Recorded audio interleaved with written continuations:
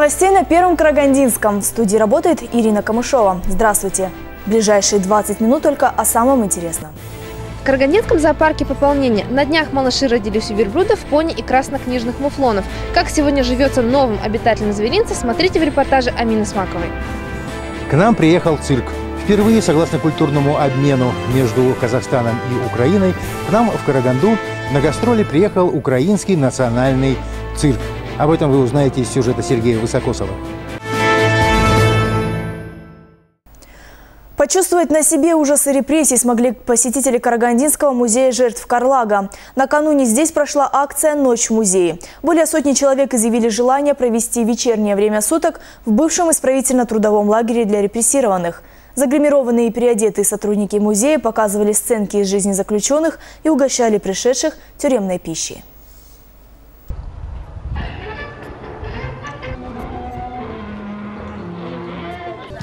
После реставрации музей «Карлак» еженедельно устраивает экскурсии. Желающих очень много. Но в этот всемирный день ночь в музей желающих было столько, что телефон не умолкал от наплыва звонков. Все хотели посмотреть хотя бы одним глазом, что же будет происходить в этот день в Карлаге. На пять экскурсоводов пришлось по 20 человек. Мы хотим, чтобы люди не забывали, что это были действительно очень трагичные страницы нашей истории. Только для этого, ради памяти тех, кто безвинно пострадал. Специально к акции подготовился весь персонал музея, кочегары, бухгалтеры, врачи. В этот день первооплатились жертв политических репрессий. Все соответствовало тому времени – инвентарь и другие вещи, и даже старый духовой оркестр, который играл перед Карлагом в 30-40-х годах. Были разыграны некоторые отдельные сцены из воспоминаний репрессированных. Чтобы вот роль нормально сыграть, ты представляешь, вот как бы ты вот на их месте был, и как забрать ребенка у матери – даже вот как в наше время, вот бывают матери отдают в дом малюток сам, а тут отбирают. Вот состояние вот этой матери, у которой отбирают, и которые потом будут приносить, или ее приводят там под конвоем, что она его не видит постоянно, ну, это тяжело и для них, и для меня, как я их забираю у них в дом малюток. По словам участников, все казалось настолько реальным, что некоторые даже прослезились. Да, я уже и поплакала, и все. Не рассчитывала, конечно, плакать, но не смогла сдержаться. Тяжело. Один из персонажей не понаслышке знает, через что пришлось пройти узникам Карлага. Мама, бывшая репрессированная в свое время женщина, рассказала ему все, как было на самом деле. Однако даже великолепная актерская игра не сможет передать тот ужас. У меня мама прожила все это, она в Польшах тоже. С 2006 года она все это видела. Она даже не хочет в музей идти. Она я все, все видела, все прожила и Волги, и холод испытал уже 78 лет уже. За ночь музей успели посетить более 150 человек. Озадаченные, опечаленные, эмоций было много. Равнодушных в этот день не осталось. Амина Смакова, Марат Хултинов, Первый Карагандинский. Караганда уже больше недели живет без горячей воды. На теплосетях проводятся ставшие уже привычные для карагандинцев гидравлические испытания. Пока горожане как могут справляются без горячего водоснабжения, в компании «Теплотранзит Караганда» рассказывают о необходимости подобных отключений. Репортаж Мирам Гульсалкимбаевой. Отключение горячей воды по весне для карагандинцев – дело привычное. Многие уже давно запаслись кипятильниками. Кто-то приобрел титан, кто-то обходится простым электрочайником. Месяц без горячей воды – настоящее испытание для горожан. Ну, плохо, неудобства, всякие неудобства. Греть воду, там, газ тратим мы. Неудобно. Моешься в тазиках. Что еще сказать? Слишком долго? Месяц. И не постирать, не помыть, не убрать. Горячая вода летом, по-моему, всегда нужна. Да она вообще всегда нужна, кругло... круглосуточно и круглогодично. Греем воду, тратим электроэнергию. У меня дома нет титана, поэтому вот приходится греть. Это очень неудобно, особенно когда есть пожилые люди, когда есть маленькие дети, потому что нужно ухаживать за ними. Погода холодная стоит, дома тоже холодно, поэтому очень негативно относимся. А я в баню хожу, Отключение горячей воды теплопередающая организация производит ежегодно после окончания отопительного сезона. Так компания «Теплотранзит Караганда» исполняет правила технической эксплуатации электрических станций и сетей. Причем оставлять без воды город полностью – мера вынужденная, рассказывает генеральный директор компании услугодателя. Когда мы проводим гидравлические испытания, мы же повышаем давление на 1,25 от рабочего давления. То есть, если теплосеть работала при 10 килограммах, то мы ее испытываем на 12,5 килограмм сил на сантиметр квадратный. То есть мы увеличиваем повышенным давлением, смотрим, что порвется, и выдержало, не выдержало испытание. Набирается э, испытуемое давление, 1,25 рабочего, держится, выдерживает 10 минут, и потом плавно это давление снижается. Идут, осматривают сеть, если нет порывов, теплосеть считается э, выдержанным тепловые, э, гидравлические испытания. Все, она выдержала. Теплотранзите обещают завершить все работы в течение месяца. Таким образом, уже 12 июня карагандинцы смогут в полной мере воспользоваться благами цивилизации. Сейчас у нас уже завершающий этап. Я надеюсь, что мы через неделю, как я и обещал, соберем схему. И в те дома, где схема будет позволять, позволять вот Майкудук, э, юго-востоке Гульдеры, по степным пока у нас там тоже порыв по республике, будем определять в течение недели устранять. В июне водоснабжение сначала подключат жителям Майкудука и центра города. Потом вода появится на юго-востоке и в Михайловке. Мирамгуль Салкимбаева, Бауржан Алипов, Евгений Афанасьев. Первый Карагандинский. Прервемся на короткую рекламу. Не переключайтесь. Далее все самое интересное.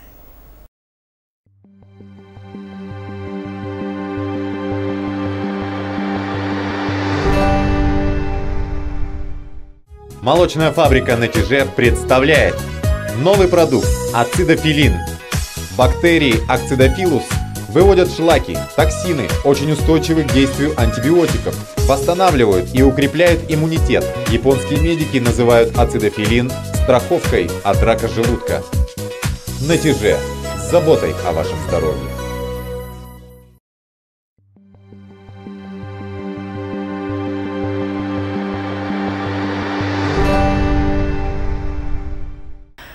Пожар унес жизнь 54-летней женщины. В поселке Костанкельды Карагандинской области загорелись хозяйственные пристройки одного из домов. Мгновенно огонь перекинулся на кровлю жилого дома. На ликвидацию огня ушло 20 минут. Площадь возгорания составила 40 квадратных метров, сообщает в пресс-службе пожаротушения Карагандинской области. В тушении пожара участвовали 12 человек личного состава и 3 единицы техники службы пожаротушения и одна единица техники, 4 человека личного состава Орцундруши Карагандинской области. При тушении пожара был обнаружен труп гражданки, проживающей в доме. К другим новостям. Учителя снова сели за парты, чтобы получить 30% надбавку к зарплате. 175 педагогов региона прошли трехмесячный курс обучения по кембриджской программе. А накануне преподаватели образовательных учреждений защищали полученные знания на квалификационном экзамене. О педагогах высокого уровня расскажет наш корреспондент. Три месяца по казахстанско-английской программе учителя области прошли курсы повышения квалификации. Под пристальным контролем экспертов и тренеров педагоги обучались новым подходам в преподавании. Международную программу, рассчитанную на пять лет, разрабатывали Назарбаев интеллектуальная школа совместно с Кембриджским университетом. В рамках этой программы учителей обучают, как правильно на уроке выстраивать обучение с точки зрения критического мышления, с точки зрения учета э, одаренности детей, с точки зрения использования IT-технологий. То есть все вот эти моменты э, каждого педагога учат с учетом его подготовленности и его специфики предмета, как это все делать. С февраля по май 175 учителей общеобразовательных школ прошли обучение по третьему, так называемому базовому уровню, практика которого направлена на проведение исследования в действии в реальном классе, в реальной школе.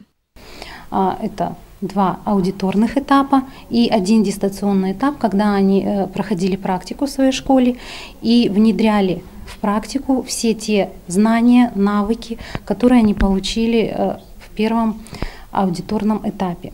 Затем они вернулись на обучение и во время второго аудиторного этапа обменивались своими наработками, опытом, проводили рефлексию, а, защищали презентации по окончанию всех этапов учителям предстояло пройти заключительное испытание в виде экзамена. Здесь все под особым контролем. За прозрачностью экзаменации наблюдают беспристрастные эксперты. Педагогам, которые успешно сдали экзамены, полагается сертификат. Документ дает возможность повышения заработной платы. В частности, те, кто проходит третий базовый уровень, смогут рассчитывать на 30% надбавку. Ирина Камышова, Жас Габасов, Марат Култенов, Первый Карагандинский. Карагандинском зоопарке откроют зверинец для маленьких посетителей. Здесь дети смогут не просто смотреть на обитателей через вольер, а брать на руки, кормить и гладить неагрессивных животных. Такая возможность появится ко Дню защиты детей и продлится весь летний сезон. Все подробности у Амины Смаковой. Ну, то есть все бывшее СНГ, это малыш краснокнижного муфлона. Он появился на свет несколько недель назад. Со зверьком, его ровесниками верблюжатыми пони, а также другими неагрессивными маленькими животными уже к 1 июня смогут пообщаться самые маленькие карагандинцы. И мы решили всех малышей собирать на площадку молодняка и э, там предоставлять возможность деткам э, и родителям. Ну, больше, конечно, будут детки, потому что это небольшая площадь, на которой будут стоять э, малыши наших животных. Практически во всех странах мира существуют подобные детские зоопарки. Карагандинский питомник решил не отставать. Отдельная площадка простоит возле центрального входа все лето. Чтобы стать ближе к питомцам, нужно будет заплатить 100 тенге. За эти деньги ребенок сможет погладить пони, кроликов, утят, цыплят, а также дрессированную серебристую крысу. К тому же можно будет покормить обезьянку прямо из рук фруктами или овощами, а также подержать в руках питона. Амина Смакова, Тульген Раштов, Марат Култенов, Первый Карагандинский. В Абае состоялся 14-й областной слет юных инспекторов дорожного движения. Участие в мероприятии приняли 19 команд из районов и городов области. Здесь отбирали самых эрудированных юидовцев, которые будут представлять Карагандинскую область на республиканском конкурсе.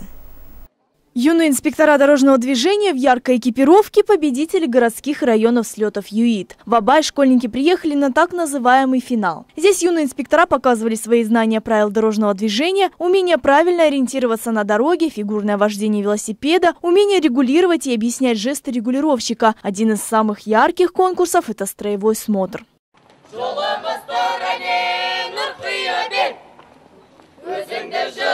Нужно отметить, что в этом году к конкурсу присоединились учителя и сотрудники дорожной полиции.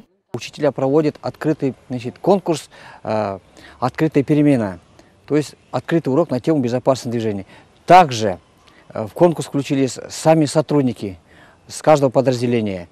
Они предоставляют, э, каждый регион, каждый район предоставляет свой видеоролик на тему безопасности дорожного движения. То есть именно на тему, на тему профилактики детского дорожного травматизма. Юидовское движение существует уже более 30 лет и охватывает десятки тысяч детей и подростков по всему Казахстану. Оно стало поистине всенародной школой воспитания законопослушных и грамотных участников дорожного движения. Это 14-й областной слет юных инспекторов посвящен 40-летию движения ЮИД и памяти героя Газиза Байтасова. Данное мероприятие крайне важно – ведь мы все участники дорожного движения, и все мы должны не только знать правила дорожного движения, но и строго соблюдать. По итогам конкурса третье место заняла школа села Ростовка Бухаржиравского района. Вторыми стали школьники из поселка Топар. Победителями оказались юидовцы Карагандинской школы гимназии номер 95. Они-то и представят регион на республиканском слете юных инспекторов, который пройдет в середине лета в Щучинске. Ирина Камышова, Марат Култенов, Первый Карагандинский. 30 лет назад Сан-Франциско официально провели День памяти умерших от СПИДа. С тех пор во всем мире ежегодно 19 мая вспоминают людей, скончавшихся от этой болезни. В Карагандинском городском парке культуры отдыха областной центр СПИД и здоровый образ жизни провели День памяти умерших от ВИЧ-инфекции. 30 раз волонтеры и активисты областного центра «Здоровый образ жизни» проводят акцию напоминания о невозвратимых потерях от СПИДа. У нас зарегистрировано 2645 инфицированных человек, из них от СПИДа умерло 706 больных. Причем эти цифры не отражают действительной картины. Как считают врачи областного центра СПИД, число ВИЧ-инфицированных в 3-4 раза больше. Это как айсберг. То есть то, что мы знаем, наши цифры, это надводная часть, а подводная часть, она скрытая. Поэтому и раздаются проспекты и буклеты горожанам. Напоминая, что нельзя успокаиваться, надо постоянно помнить о профилактических мерах, чтобы по незнанию не заразиться неизлечимой болезнью. Врачи добились стабилизации количества заболеваний, но полностью контролировать ситуацию до сих пор никому не удается. Еще не открыты медикаментозные средства, обеспечивающие полное выздоровление ВИЧ-инфицированных, и ближайшие 15 лет вряд ли что изменится. Но есть единственная сила, которая не подвластна СПИДу. Это простой и действенный рецепт – здоровый образ жизни, за что и ратуют организаторы этой акции. Обратить внимание общества вот, на эти проблемы, особенно среди молодежи и среди населения города Караганды, чтобы все знали и имели информацию. ВИЧ-инфекция поражает самую дееспособную, энергичную часть населения – молодежь. Именно она в первую очередь должна знать все о профилактике ВИЧ-заболевания. И большинство молодых это понимают. Сергей Высокосов, Евгений Афанасьев, Первый Карагандинский. Впервые в Караганде проходят гастроли Украинского национального цирка. «Лед и пламя» – так назвали свою программу, привезенную на суд карагандинскому зрителю украинские артисты. Название соответствует действительности. Лед зрительской настороженности был растоплен жаром мастерства исполнителей на первом же представлении. Наши корреспонденты были этому свидетели.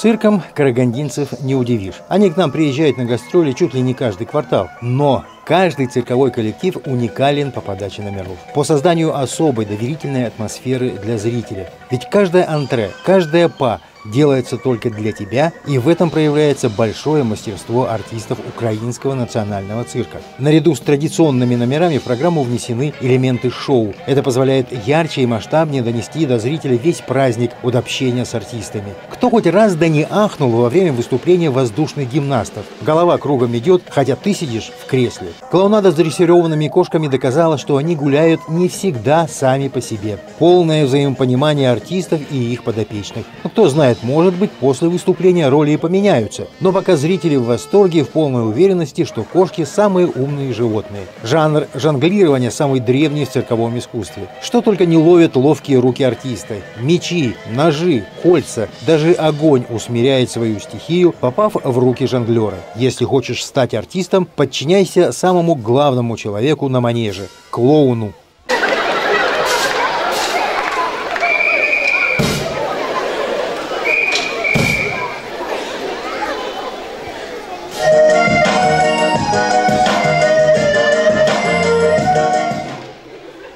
Кстати, уже на первых выступлениях администрация Украинского национального цирка выделила 620 бесплатных мест для детей-инвалидов и ветеранов. Эквилибристы, мишки собственной особой грации. В программе полный набор того, что мы называем цирковым представлением, которое дарит восторг, радость, фейерверк эмоций.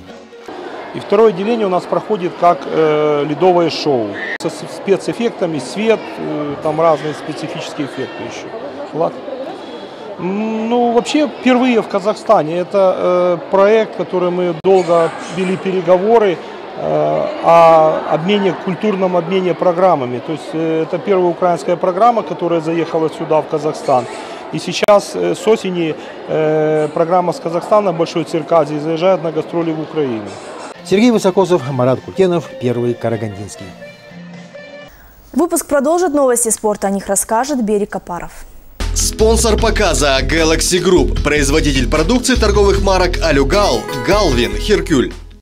Компания Galaxy Group вот уже 18 лет является основоположником сектора производства пластиковых и алюминиевых профилей для окон и дверей в Республике Казахстан. И мы представляем вашему вниманию эксклюзивную продукцию казахстанской фирмы Алюгал. Алюгал производит алюминиевые профили широкого ассортимента и высокого качества, любой сложности и на заказ. Балконы, двери, окна, офисные перегородки и входные группы. Алюминиевые профили Алюгал это современно, долговечно и престижно. Мы можем подобрать любой цвет, легко сборки и проста в эксплуатации, ведь продукция фирмы Алюгал адаптирована на наш климат.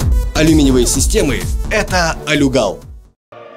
Действующий чемпион Казахстана Карагандинский «Шахтер» в рамках очередного тура премьер-лиги провел первый домашний матч в Караганде. В гости горнякам пожаловал Усть-Каменогорский «Восток». Хозяева без раскачки ринулись терзать оборону соперника. И уже на 12-й минуте матча, открывший в себе бомбардирские качества защитник «Шахтера» Евгений Тарасов, открыл счет в матче, удачно сыграв на добивании.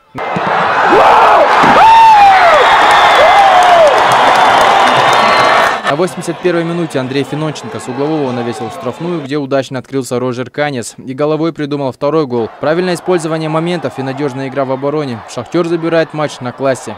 Сегодня была первая домашняя игра в этом сезоне, и как бы нам надо было обязательно выигрывать. Спасибо всем, кто пришел поддержать нашу команду. Спасибо болельщикам, всем огромное. На послематчевой пресс-конференции главный тренер «Шахтера» Виктор Кумуков отдал должное команде соперника и подчеркнул важность победы. Примерно равная игра была. У Востока хорошая команда. На сегодняшний день они на два очка всего отставали от нас. Ну и важно было выиграть эту игру. Мы использовали наигранный, стандартный, благодаря этому забили, выиграли. На интересующий многих болельщиков вопрос, где Кукеев, главный тренер ответил с иронией. На сегодняшний день Джамбул Кукеев официально больной. Не знаю, что там за травма, но говорят, что не может играть. По слухам, Кукеева активно сватают в алматинский Кайрат, но Кумаков признался, что не знает, чего хочет сам Жамбул. У него спросите. Он все время говорит, что нет. Кто-то говорит да. Не поймешь, где он и что. По-моему, где-то посередине. Меня все. Напоминаю, телефон новостной службы первого Карагандинского 42 06 49. Звоните, делитесь интересной информацией.